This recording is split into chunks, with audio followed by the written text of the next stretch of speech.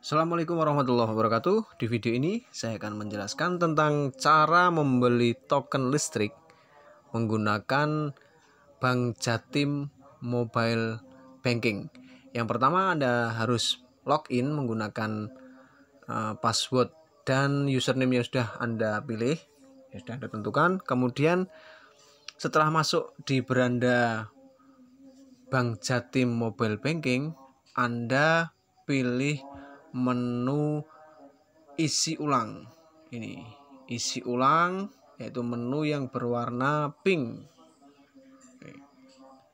Kemudian untuk membeli token listrik Anda pilih menu pembelian PLN prabayar nomor 2 dari bawah atau nomor 4 dari atas. Bila Anda belum pernah membeli itu artinya harus menginput ID pelanggan yang baru dengan cara tekan menu input ID pelanggan. Kemudian isi nomor meter atau ID pelanggan, ID pelanggan. Nomor meter itu bisa ditemui atau bisa ditemukan di meteran Anda, kemudian masukkan alias. Nanti kalau sudah tersimpan, nama aliasnya bisa Anda gunakan untuk memilih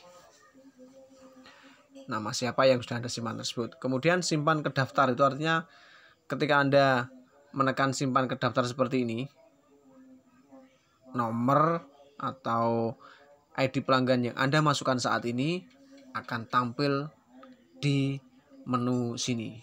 Ya, di menu PLN Prabayarin langsung ada. Misalkan saya pernah membayar atau pernah membeli token untuk nomor ID pelanggannya Misbahun itu akan tersimpan seperti ini. Karena saya sudah pernah menyimpan, saya tinggal menekan yang sesuai nama yang sudah saya simpan seperti ini. Kemudian tekan panah warna merah sebelah pojok kanan atas. Kemudian tunggu sebentar. Nah, ini pastikan nomor meternya benar, kemudian namanya itu nama ada tiga tiga abjad depan itu pastikan benar.